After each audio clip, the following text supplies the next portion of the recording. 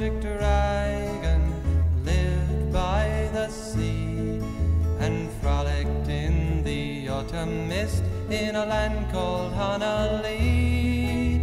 Little Jackie Paper loved that rascal Puff and brought him strings and sealing wax and other fancy stuff. Oh,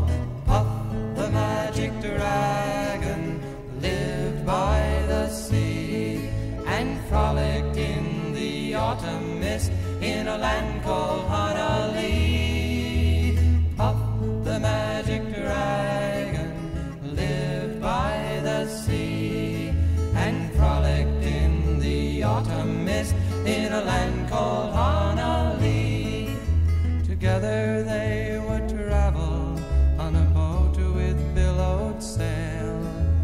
Jackie kept a lookout perched on Puff's gigantic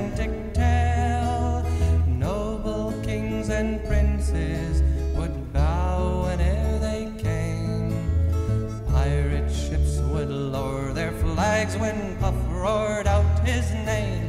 Oh, Puff the magic dragon lived by the sea and frolicked in the autumn mist in a land called Honah Lee. Puff the magic dragon lived by the sea and frolicked in the autumn mist in a land called Honah Lee. A dragon lives forever, but not so little boys. Painted wings and giant's rings make way for other toys. One gray night it happened, Jackie Paper came no more. And Puff, that mighty dragon, he ceased his fearless roar.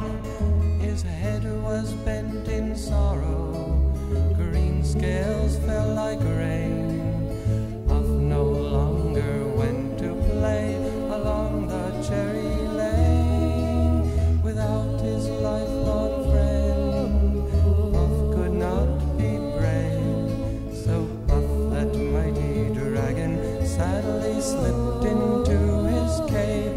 Oh, Puff, the magic dragon, lived by the sea